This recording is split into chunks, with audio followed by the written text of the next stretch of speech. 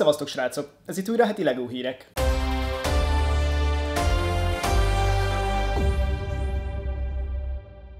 A mai adásban szó lesz a legújabb Creator Expert készletről, kettő darab ötlet ismét elérte azt a bizonyos tízezes szavazatot, és a Lego Márióval kapcsolatban is történt némi változás. Úgyhogy vágjunk is bele, srácok!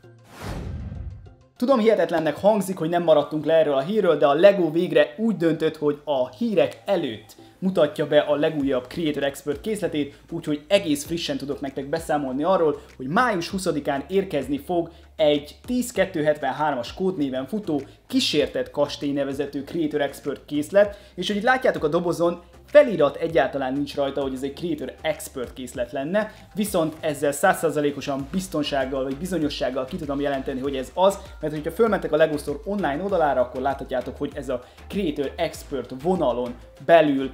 van egyáltalán meghirdetve. Egyébként a készlet 3231 darabos lesz, 76.990 forintba fog kerülni, és ahogy mondtam is nektek, május 20-ától már el is érhető, viszont ez csak a VIP tagok számára, úgyhogy ha még nem vagytok VIP tagok, de szeretnétek hamarabb beszerezni ezt a hatalmas kísértett kastélyt, akkor mindenféleképpen itt a lehetőség, hogy regisztráljátok a LEGO oldalára, teljesen ingyenes, és akkor tudtok VIP pontokat gyűjtögetni. Viszont a többieknek sem kell annyira sokáig várni, mert június 1-től hát bárki számára elérhető lesz a készlet. Ha az én őszinte véleményemre vagytok kíváncsiak, szerintem remekül sikerült, pláne ez, hogy ezzel a 70 cm-es magasságával azért eléggé hát kimagasló az épületek között. Mindenféleképpen akik szeretik a moduláris épületeket, az szerintem egyértelműen egyből beleszeretnek. Viszont én annyira nem szeretem a Legónak ezt a Vidám Park vonalát, ugye már ez az ötödik, azt hiszem, ami ezzel a Vidám Park témával foglalkozik, igazából sosem voltam benne ebben a vonalban, ugye megjelent már jó néhány ilyen nagyobb Creator Expert készlet is ebben a témával kapcsolatban, amik hát igazából annyira sosem tetszettek, viszont ez a ház nagyon bejön, pláne az, hogy benne van egy olyan funkció,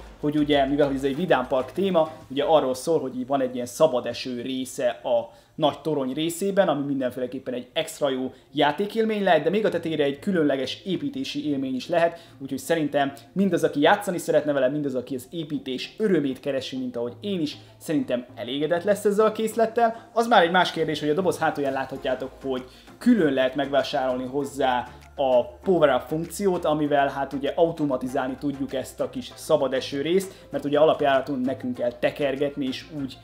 mozgatni ezt az egész szerkezetet, úgyhogy ez egy kicsit furcsa, hogy azért majdnem 80 ezer forintba kerül, és nem tudták belerakni ezt a funkciót, ami kicsit olyan tényleg hátulütője lehet ennek a készletnek. Nekem abszolút nem hiányzik, igazából én soha nem játszanék vele. Viszont aki szereti az ilyen automatikusan működő Lego építményeket, hát annak sajnos külön meg kell vásárolni ezeket az alkatrészeket hozzá.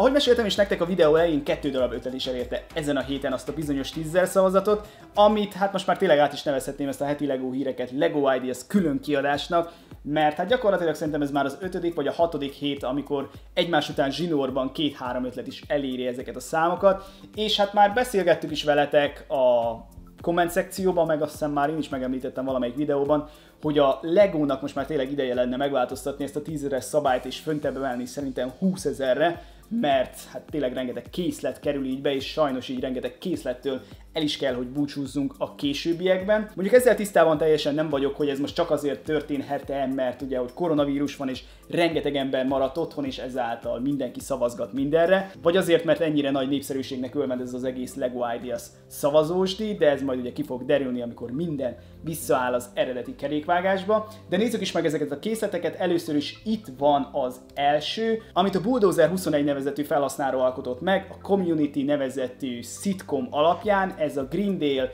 College-nak a kis diorámája, gyakorlatilag a készlet ugyanabban a stílusban épült, mint a Big Bang Theory is, meg a jó barátokos is, ez gyakorlatilag ugyanarról szól, ugyanúgy egy szitkom alapján készült ez a készlet. Igazából eddig én nem is hallottam erről a sorozatról, Magyarországon ez a balfékek néven futott, igazából 2009 óta fut már ez a sorozat, de valahogy én ebből kimaradtam, mert tényleg abszolút nem hallottam róla. Egyébként ez a sorozat Magyarországon a Pro 4 csatornán 2011 óta megy, nem is tudtam róla, hogy volt ilyen csatorna, vagy van ilyen csatorna, hogy Pro 4, hát ezért nem is hallottam igazából a sorozatról. A készletről igazából csak annyit lehet elmondani, hogy ez egy dioráma, benne vannak a szereplők a sorozatból, és abban az osztályteremben vannak, ahol az egész sorozat, gondolom, fut. És itt van a második ötlet, ami ha ismerős számotokra, akkor ez nem a véletlen műve, mivel nagyon hasonló stílusban épült ez is meg, mint a kettővel ezelőtti szavazásban beszavazott Legend of Zelda-s istáló, mivel ugyanaz volt a készítője annak is, mint ennek. Hanvas Yellow First nevezetű felhasználónk alkotta meg ezt a hegyi szélmalmot. Ahogy látjátok is a képen szerintem remekül kitalálta a részleteket, tök jó, hogy van mozgatható elem is benne, külön lehet mozgatni ugye a szélmalomnak a kerekét, és hát a belső kialakítását sem aprózta el, tehát mindenféleképpen ez is egy ilyen moduláris épületre hajazó, babaházszerű épület, úgyhogy mindenféleképpen ez egy jó választás lehet mindazok számára, akik szeretik ezt a stílust. Meg kell, hogy mondjam, hogy a kettő közül kellene választani, egyértelműen erre tudnék szavazni, már csak azért is, mert ugye az előzőt nem ismertem, viszont ez nem igényel semmilyen háttérinformációt, vagy háttér ismereteket. Mindenféleképpen ez egy tök jó ötlet lenne, hogyha a Lego beszavazná, mert szerintem ezért egy kiállítási darabnak sem utolsó. És ha már a LEGO Ideasoknál tartunk, akkor mindenféleképpen érdemes azt is megemlíteni, hogy valamilyen okból kifolyólag a héten gyakorlatilag minden nagyobb hírpoltál felkapta azt a hírt, hogy van egy Trabant 601-es alkotása a LEGO Ideasok között, és már 7550 szavazatnál jár, és nem mellesleg, hát gondolom ezért is kapták fel a hírt, magyar az alkotója, mégpedig Dankó Péter, úgyhogy mindenféleképpen szeretnék neki ezúton is gratulálni, hogy már elérte ezt a számot, és még a tetejére ugye ezek a nagyobb hírportálok fölkapták, ezért abban reménykedek, hogy tényleg össze fog neki jönni az a 10.000 szavazat, mert tényleg maga az alkotás remekül sikerült, úgyhogy remélem én is ezzel tudom egy kicsit őt támogatni ezzel, hogy ha ti még nem szavaztatok rá, akkor mindenféleképpen leteszem a linket a leírásba, és akkor hát ti is tudtok erre szavazni, mindenféleképpen egy remek készlet lenne belőle, mennyire jó mutatna például, hogyha beszavazott kit mellé ez is oda kerülne, mármint hogyha tényleg a kittet is elfogadnák, meg végül a Lego ezt is normális Lego készletként kiadná, akkor a kettő egymás mellett hát egész remek lenne, pláne úgy, hogy tudjuk, hogy volt régen egy három kívánság nevezetű műsor, amiben David Hasselhoffnak egy nagyon hasonló Trabantot kellett vezetnie.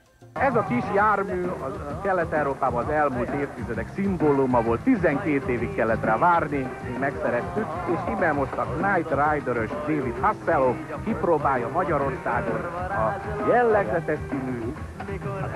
milyen kék First, second, hogy milyen second, tehát egy jellegzetes kék Trabantot, és kérem szépen nagy pillanat, itt Trabant,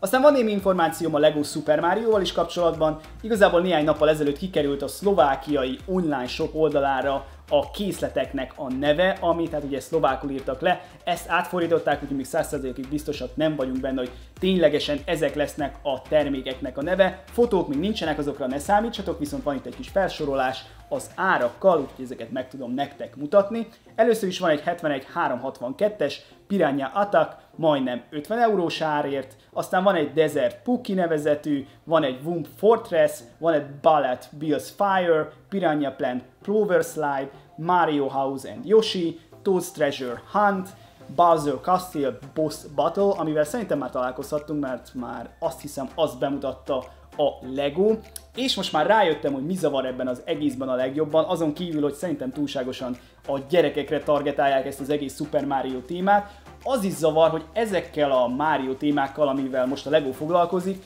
én abszolút nem játszottam, mert hát két Mario-val biztos vagyok, hogy játszottam. Egyik a Dr. Mario volt, meg a másik a Super Mario Brothers, az a hát tipikus régi retro, mit tudom én, 80-as évek végén kiadott Super Mario, és hát ez a termékcsoport nem azokkal foglalkozik, úgyhogy én azért is vagyok egy kicsit csalódott, hogy hát nem a retro vonalban indult el a Lego, hanem az újabb Mario-kkal foglalkozik, amivel igazából én annyira nem vagyok tisztában, és ezáltal annyira nincs kötődésem hozzájuk. A héten annyira nem történt sok izgalmas dolog a LEGO házatáján, úgyhogy ez egy kicsit rövidebb adás, mint az elmúlt két-három adásban, de remélem attól függetlenül élveztétek. Sőt, hogyha szeretnétek tőlem még tartalmakat nézni, akkor mindenféleképpen tudom ajánlani nektek az előző hét vasárnapi videót, ami egy unboxing volt, most nem egy 300 alatt rész volt, amit meglepő módon már több mint 9000-en megnéztetek, amit hát nagyon köszönök, viszont azért egy kicsit uh, fáj is a lelkemnek, hogy azokat az adásokkal, amivel dolgozok, két napot vágással, fölvétellel, mindennel együtt, azt sokkal kevesebben nézitek meg, mint azt a videót, amit gyakorlatilag 10 perc alatt vágás nélkül megcsinálok. Ez most nem egy nyavajgás, de akkor is egy kicsit olyan furcsa érzés, hogy amivel dolgozott az ember, azt annyira nem érdekelt titeket. Mindegy, hát nem minden sikerülhet, viszont volt kedden egy normális heti bemutató is, amiben hát ezt a hatalmas ászárnyat mutattam be. Ha érdekel a UCS edition akkor mindenféleképpen ajánlom ezt a videót is, ott van fönt a sarokban, hogyha esetleg még nem láttátok, mindenféleképpen nézzétek meg, mert hát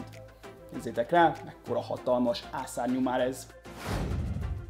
Srácok, szeretném megköszönni a mai figyelmet is, találkozunk a következő 300 alattban, ami most nem is 300 alatt lesz ismét, hanem egy kis ö, érdekes tutoriál, amit ö, hát ez ilyen kis próbálkozás tőlem, hogy kicsit más tartalmakat is mutassak be nektek, úgyhogy vasárnap egy kicsit másmilyen adásra számíthattok, remélem élvezni fogjátok. Találkozunk abban az adásban, tudjátok iratkozzatok fel, mert az nagyon fontos, és hogyha tetszett, amit láttatok, akkor ezt lájkkal jelezzétek. Találkozunk abban az adásban, sziasztok!